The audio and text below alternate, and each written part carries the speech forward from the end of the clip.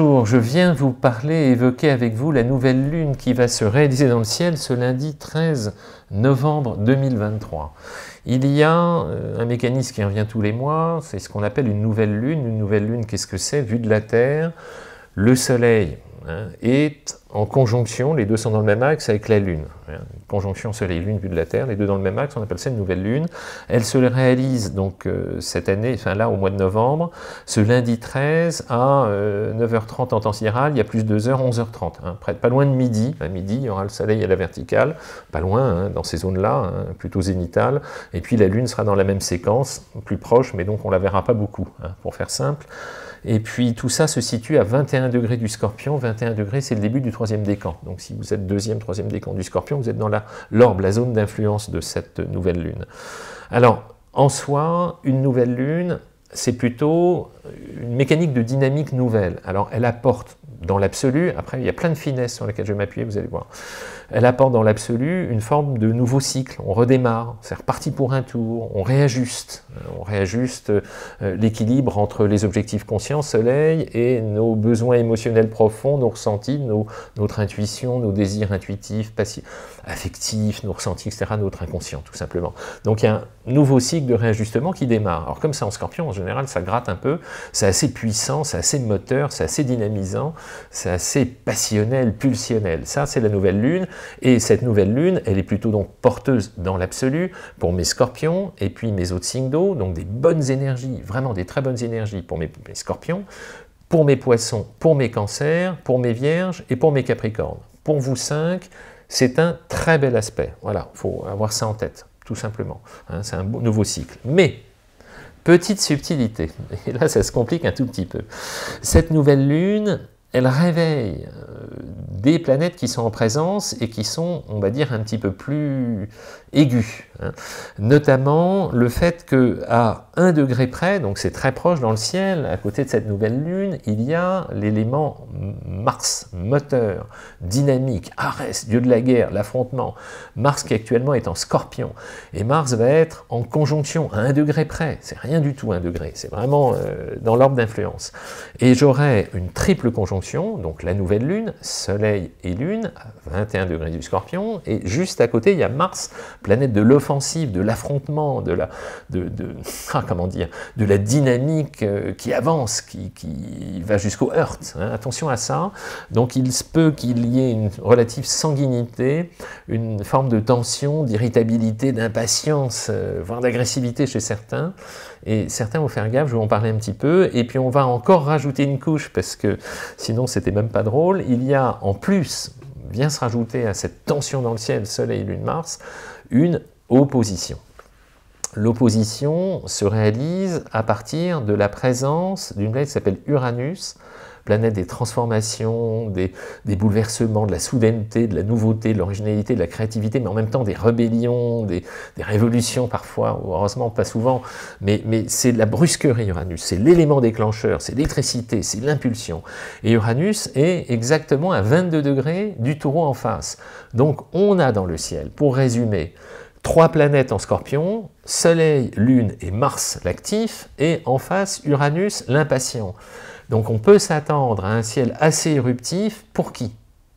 Pour tous ceux qui sont en carré notamment. Alors, soyez très euh, positif si vous êtes euh, deuxième, troisième décan taureau, deuxième, troisième décan euh, scorpion, canaliser cet énorme apport d'énergie qui risque d'être excessif de façon à en tirer le meilleur, hein, surtout vous, mes taureaux, vous avez toujours Jupiter en toile de fond qui vous protège jusqu'en mai prochain, donc l'épiphénomène-là, il faut me le gérer tout en douceur, on casse rien, on précipite rien, pas de brusquerie, et puis attention en revanche, si vous appartenez au deuxième, troisième décan verso, deuxième, troisième décan lion, cette, configuration particulièrement tendue, vous pouvez vous la prendre en biais euh, de façon assez brusque. Donc, pas de brusquerie, pas d'impatience, pas de rapport de force, levez le pied, soyez souple, soyez zen. Quand au niveau collectif j'ai une telle tension, Soleil, Lune, Mars opposé Uranus, c'est un peu sec, voilà, donc on ne sait pas trop à quoi s'attendre, hein, surtout quand l'environnement est un peu tendu. Donc au niveau individuel, soyons zen pour me laisser passer cet orage-là, si vous êtes dans l'axe euh, taureau-scorpion ou verso-lion, voilà, tout bête, tout simplement. Je ne vais pas m'éterniser sur le truc. Après, il y a d'autres choses en parallèle dans le ciel.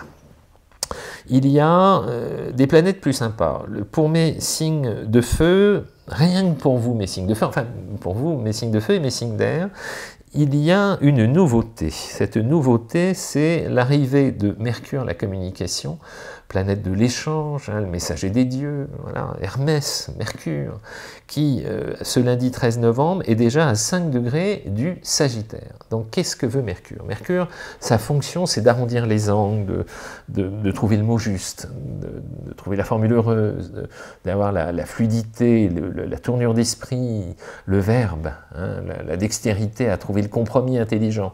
Et Mercure en Sagittaire a, euh, par réputation, euh, même s'il a son franc-parler, c'est un doux euphémisme, Mercure Sagittaire, il dit en général ce qu'il pense, et puis un peu, il dit direct, hein, franchise, honnêteté, voilà, on s'énonce sans filtre, et parfois sans gants, attention à ça. Et eh bien ce Mercure en Sagittaire, il apporte une très belle énergie en matière d'aptitude à communiquer, donc pour mes Sagittaires, l'esprit est vif en ce moment, la communication est directe, attention, euh, ménagez-la, et excellent dans tous les cas. Mercure apporte du bien à mes Sagittaires, à mes Lions, à mes béliers, communiquer mieux en ce moment mes lions et mes béliers. Et puis également, quand une planète est en sagittaire, elle apporte un coup de pouce à mes balances et à mes versos. Vous voyez, il y a des choses qui rééquilibrent, hein, mes versos. Hein, on ne prend pas de décision, mes versos, mais on communique plus. Voilà, c'est mon conseil.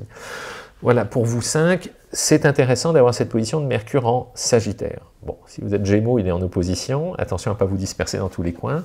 Rien de bien grave, une petite tendance toute, bête, hein, toute simple.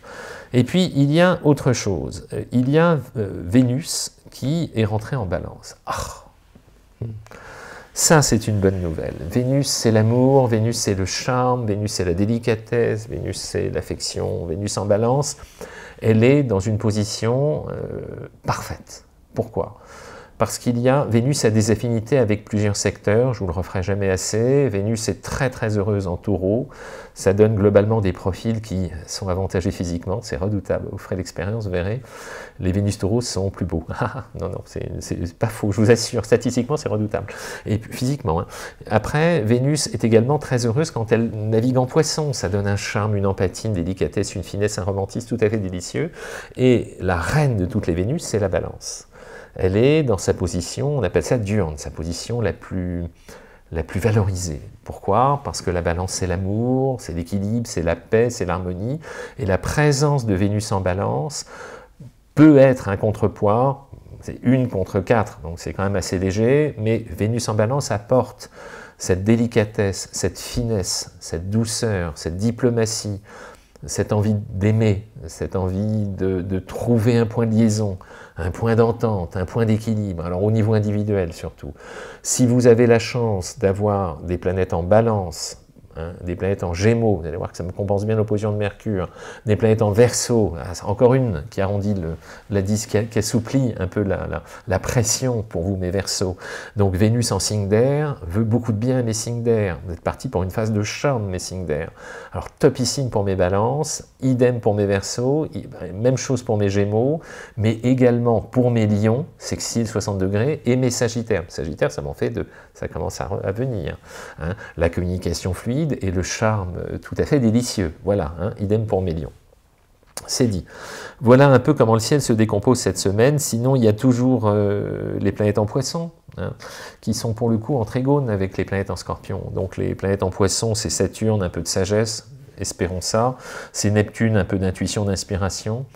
Neptune est dans le troisième décan poisson, donc il forme finalement un aspect qui va arrondir un peu la tension ambiante euh, de cette nouvelle lune conjoint Mars opposé Uranus. Donc ça peut favoriser le, le ressenti, l'intuition, le feeling, excellente intuition, formidable feeling pour mes signes d'eau, avec toutes ces planètes en signe d'eau en ce moment-là. Il y a un paquet de planètes en signe d'eau en ce moment. J'ai Soleil, hein, de mémoire, j'ai Mars, j'ai la Lune en début de semaine, euh, j'ai Saturne, j'ai Neptune, beaucoup de choses au niveau de l'intuition. Et puis, euh, le Soleil dont je parlais tout à l'heure, il forme un aspect qui va dans la semaine en s'apaisant, avec le lien qui va être formé en sexile avec Pluton, des angoisses. Soleil-Pluton heureux, on arrive à mieux circonscrire, à mieux maîtriser ces pulsions agressives. Soleil Pluton heureux fait qu'on gère mieux l'objectif à atteindre sans être dans la démesure pas mal ça aussi. Hein. voilà ce qu'il faut prendre. Voilà, c'était un peu le ciel tel qu'il se présente cette semaine. Je voulais également vous raconter, je voudrais vous parler à présent de, l'influence d'Uranus dans un thème. c'est l'occasion. Hein. comme dans le ciel, il y a une nouvelle lune opposée Uranus. Euh, Uranus, c'est globalement une planète qui trouve sa zone de, maîtrise, on appelle ça, sa zone d'épanouissement, dans le secteur du Verseau. Verseau, c'est toujours un, secteur qui est étrange pour, euh, parce qu'il est atypique. Le verso est atypique structurellement, parce qu'il aime la nouveauté, la liberté, l'originalité, l'indépendance, etc. Et euh, ce qui est intéressant à comprendre, c'est déjà avant tout pourquoi le signe de verso est euh, sensibilisé sur trois notions qu'il va falloir associer. La notion, c'est qu'avant tout, c'est un signe d'air. Et un signe d'air, c'est beaucoup plus dans le conceptuel, le besoin de liberté, pas de fil à la patte, pas d'attache. Les signes d'air, globalement, lâchent prise structurellement sur la matière parce que ça retient au sol, et sur le feu, pourquoi hein, La terre, donc, euh, et le feu parce qu'on est emprisonné dans une façon de gérer, de rapport de tension, d'autorité, etc. Tout ça, c'est les antiquines, Messinger. Messinger, ils ont besoin de liberté. C'est d'autant plus marqué chez le Verseau, qui est gouverné par deux planètes, on y vient, Saturne, la rigueur, c'est pour ça que vous verrez des versos qui sont des bosseurs redoutables, quand ils prennent confiance en eux, attention, hein, Saturne, jeune, inhibe, fait qu'on manque de confiance en soi. Mais lorsqu'on trouve son axe, ils peuvent être formidablement rigoureux et sérieux. Et il y a Uranus qui est là, Uranus qui maîtrise aussi ce secteur. Uranus, le rebelle, hein, la nouveauté, l'impatience. Donc il est assez fréquent chez les profils qui ont des planètes en verso de les voir euh, passer des caps où ils doivent prendre confiance en eux, ce qui n'est pas évident quand ils sont jeunes. Ça vient plus tard indiscutablement, et euh, ils prennent un axe de travail, de rigueur, de sérieux, de fiabilité. Ça, c'est Saturne qui gouverne. Et puis, là où c'est soudain, inattendu, c'est que ça arrive assez régulièrement dans leur vie, ils saturent d'un seul coup, c'est complètement imprévisible. Euh, ils ont envie de liberté, de changement, de tout modifier comme ça, euh, à brûle pour point, de façon impromptue.